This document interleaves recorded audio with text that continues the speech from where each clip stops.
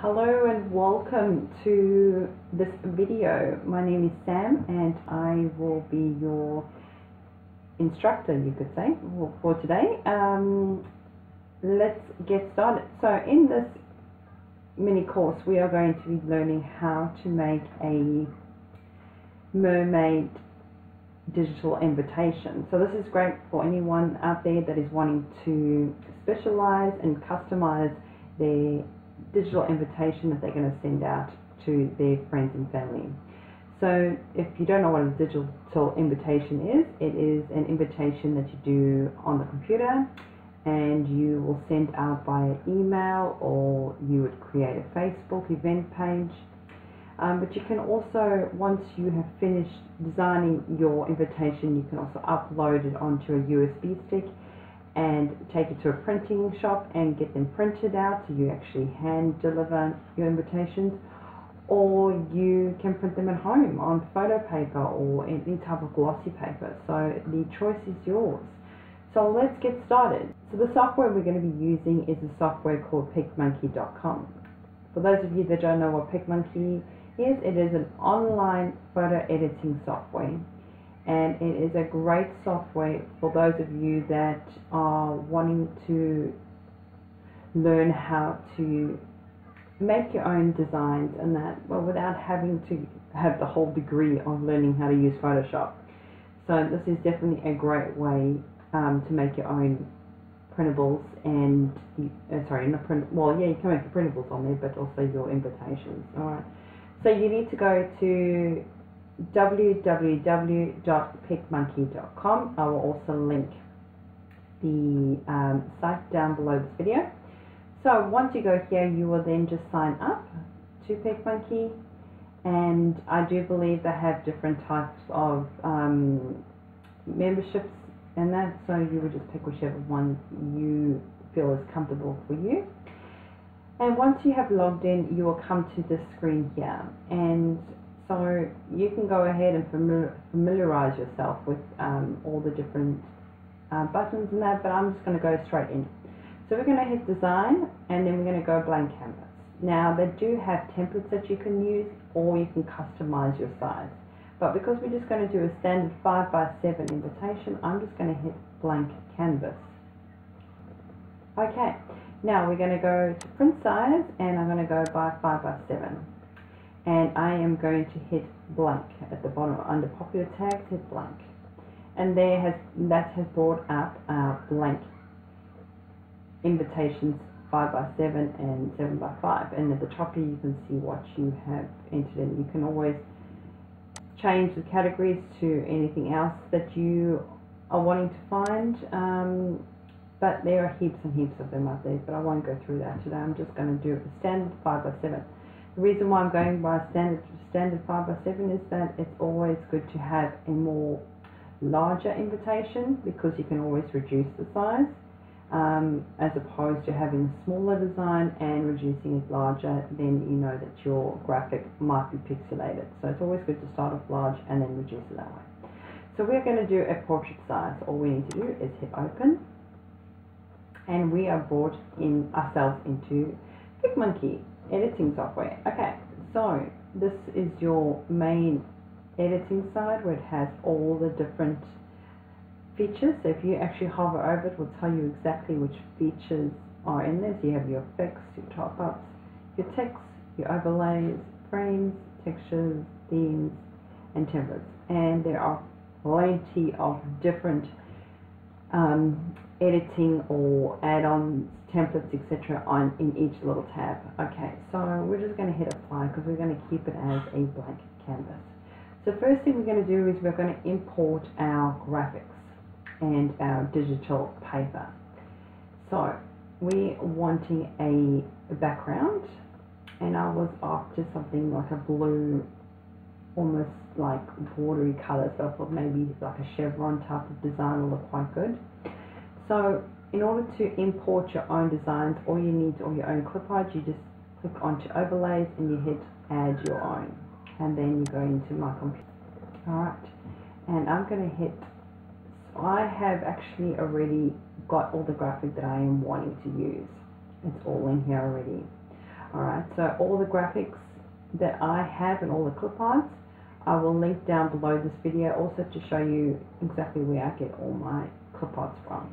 Okay, so you double click onto whatever design you want, and I am just going to move it up and I'm going to enlarge it so it fits the side of the paper. Now I don't want to go all the way to the end because it actually makes it too big. So I want to keep it a nice small chevron color. But obviously we have this blank area here. So all I need to do is right click and duplicate layer.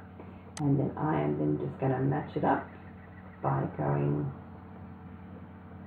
yeah and making sure it's all matched up and release. And there we go. So you've got your nice chevron pattern. Now, okay, the next thing I am going to do is to bring in my clip art. So I want to bring in my mermaid. And there she is there. The reason why I want to bring her in is because I want to be using her colors in the actual design process so everything kind of matches. Okay, so we're going to stay in overlays and we're going to scroll all the way down until you reach labels. And we click onto labels. And I'm going to be using this fancy frame over here. And we're going to click onto the circle that's just above the actual design and that actually rotates it and we're just going to rotate it by clicking on the mouse and then hitting release. Not hitting release, but we just release the, the mouse and let's make it bigger. Now I can see that that's obviously not straight, so let's just make sure it's straight. And let's enlarge it by dragging your mouse upwards or downwards. You don't have to hit shift or anything, you just drag your mouse by clicking onto the circles on either sides of the design and that will actually enlarge it. So let's just keep going until you're happy with our size. Alright, I am fairly happy with that. Okay, and when you're happy with that, you can then click off it. Now you can see that our little mermaid is behind there. On the left hand side here, you have your layer, layers um, um, menu. All I need to do is to click onto your um, frame and we're going to drag it underneath. And then voila your little mermaid is now on top. Okay but I'm still wanting to change the colors of this frame. I'm not happy with it. And what I like about PicMonkey is that it's got a little dropper tool and that little dropper, dropper tool can actually take any color that's in your design so for instance if you're bringing in a clip art which we already have over here you can then customize it to those colors, which is a fantastic feature. That's what I love about PicMonkey, that you can do all of these awesome techniques and that, and it doesn't have to be so difficult. Alright, so now we want to customize this color to match the rest. And then our overlays tab will come up on the right hand side. So anything that you click on that's to do with PicMonkey, it will bring up a little box on the side most of the time. I think all the time, in fact. So we are wanting to change the black to a white color and I'm wanting to change the second color taking my dropper tool which is this tool here and I am wanting to change it to a nice purple color and there we go it's already looking fairly cute alright okay so now once we have got all of that we now need to start doing our design. So what I would like to do is if we just click onto that, it will then bring it up, back up to the front. Okay, I'm now going to bring in a few more other clip arts. So I'm going to hit add your own and I want to bring in our little tiara. And there it is. And I want to make it a lot Um, smaller. Bit bigger.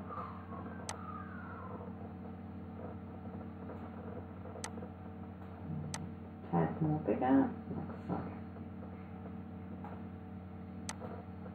Okay, I just thought do something different by having a little tiara on top.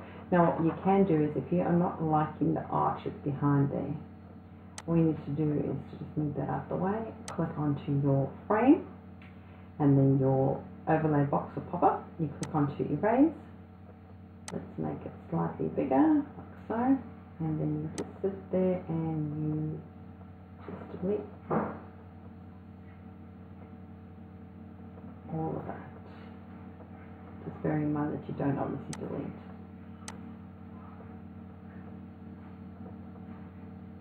Too sure. Okay, there we go.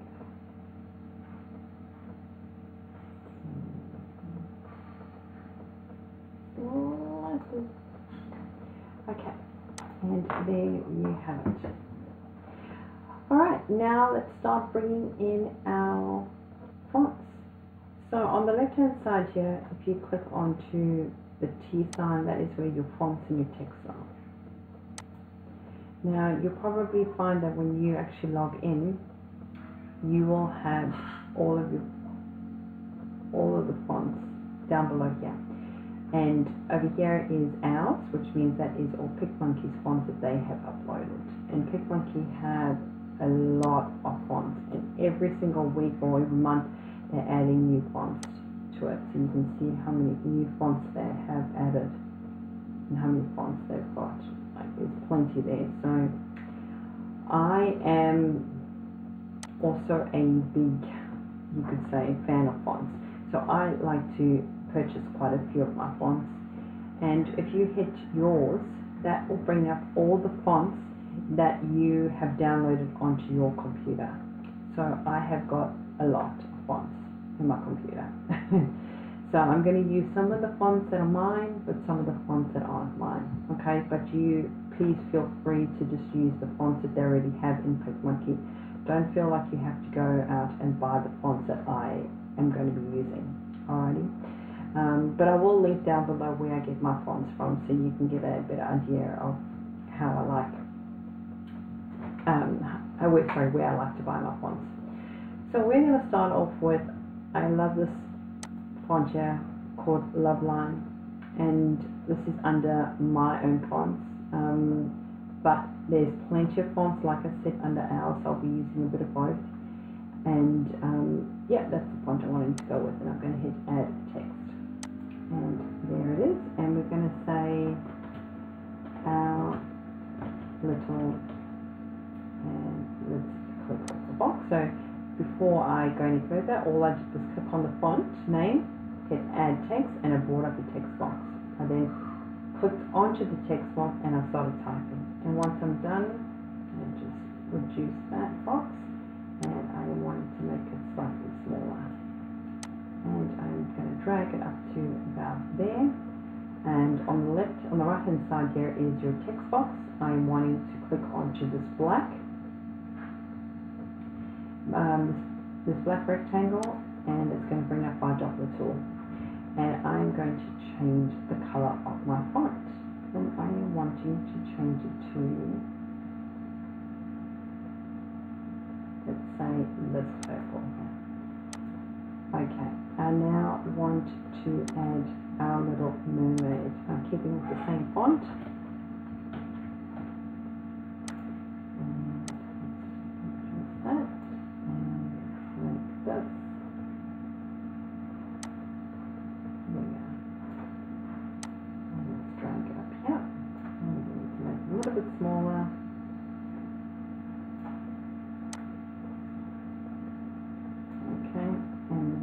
still highlighted. I want to click onto the black box again and let's make our little mermaid. I actually want to change this color to more of like the lighter, maybe that's the color. Okay, that's a bit better. Our little mermaid.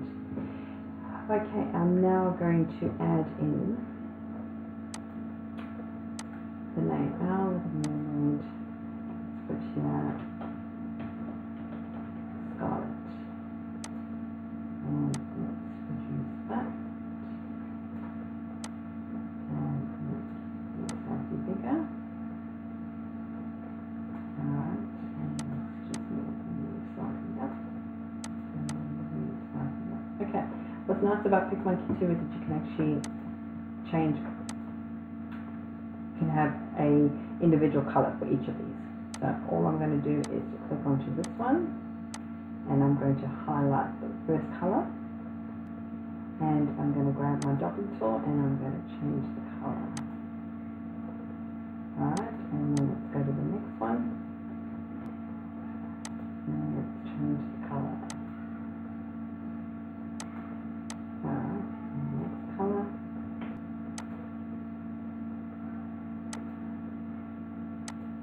And the next color.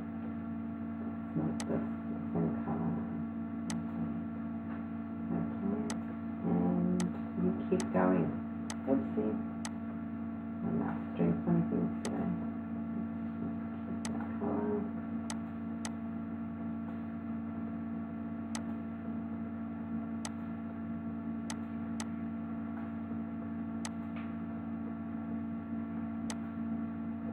And the last color.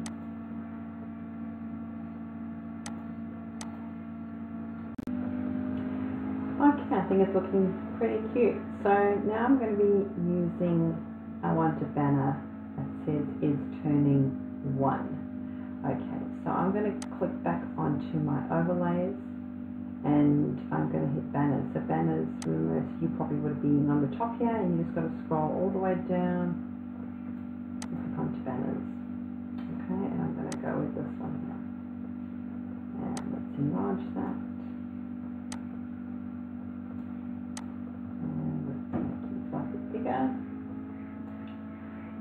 Okay, and I'm going to make that colour.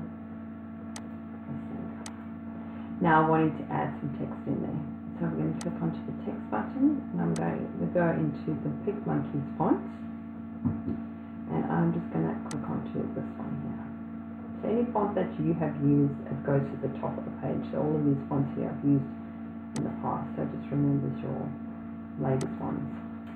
Okay, is turning one. Alright, and now let's reduce that. Let's bring this up. And I might make it a tad smaller. Um, yeah, about there. Now in your text box over here, so make sure that that is being clicked on, so it's highlighted, you click on onto effects, and we're going to hit curve, we're going to hit none button, and we're going to hit arc. And drag it all the way to the left until we are happy with where it is. Okay, and there you have it. Let's go back to options, and I am going to change the color to white. And there we go. Super easy. It's a great little tip with um, learning how to do um, arc your arc your fonts, to curve your font, sorry. Alright, now let's pick the mission script and hit add text and we're going to say please join us to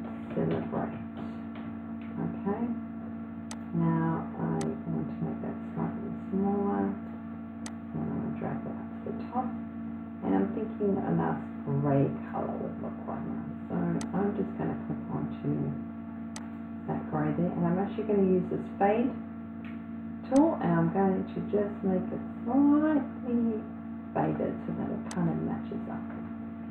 Okay. Now I'm going to start adding my dots. So we're going to go back over to overlays, just click your banner so that it um, pulls your, um, your tab back up. And we're going to go to the top and we're going to find a tab called lines. And there we have it. And there's all your lines. So we just scroll down and I want these little dots here. And there I might. Okay, and I wanted to make those dots slightly smaller, not too small. Perfect. And oopsie, drag that back to the top. Alright, let me just see if I'm happy with that. Okay, now, and I wanted to change the color.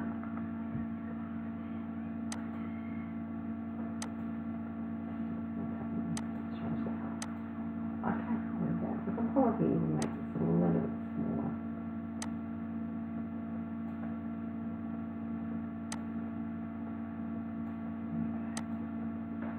Okay, and now we're going to add in all our little designs underneath here. Okay, so over here I'm wanting, let's actually make her slightly smaller.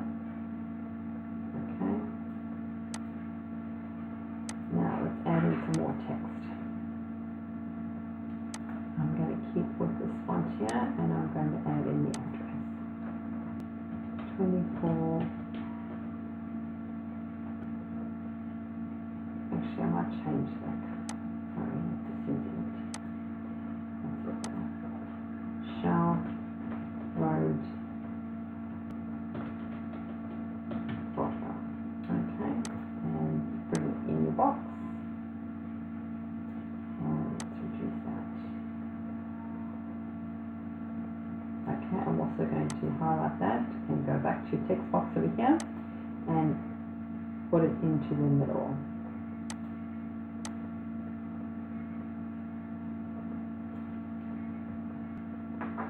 Okay, I'm going to change the color. So if you can't for some reason click onto it, all you need to do is go back on the left hand side here and then just click onto the box and we'll highlight it. For some, for some reason sometimes it doesn't click onto it. Okay, and then let's just, there we go, I like that, that's the font. That's the font color. Okay, now I want to add a little design at the bottom here.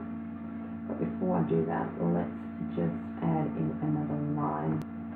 Let's go back into our overlays and we're back under lines. There it is there. So just remember just click onto that, scroll down and then click onto your lines. Now I'm just going to take the lines and I'm going to rotate it so that it is straight like that. And I want to reduce that.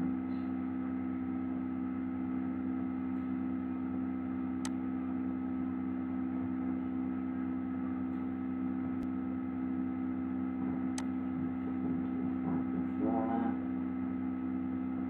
to about there. Okay, and actually I want to drag, oopsie, hit undo button, go back up here, click onto the top, and I'm going to keep further down. Okay. Now, we're going to obviously, I'm going to erase all of this, but I'll do that later on once I know exactly what's going where, okay? But then bear in mind too that this little door needs to go in the front too, okay, which we'll do a little bit later.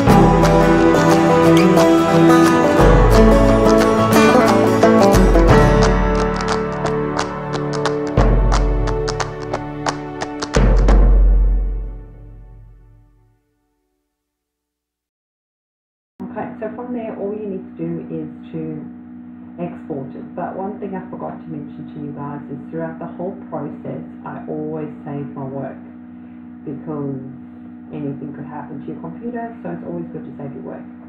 So with PicMonkey, they have what's called a hub, and you click on to save.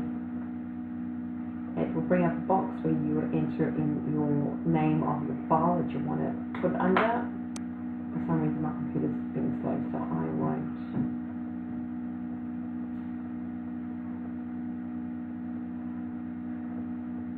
Okay, and then once you are happy with your design and you don't want to change anything, you can just export it. And by exporting it, it means you're taking it off here and you're popping it onto your computer.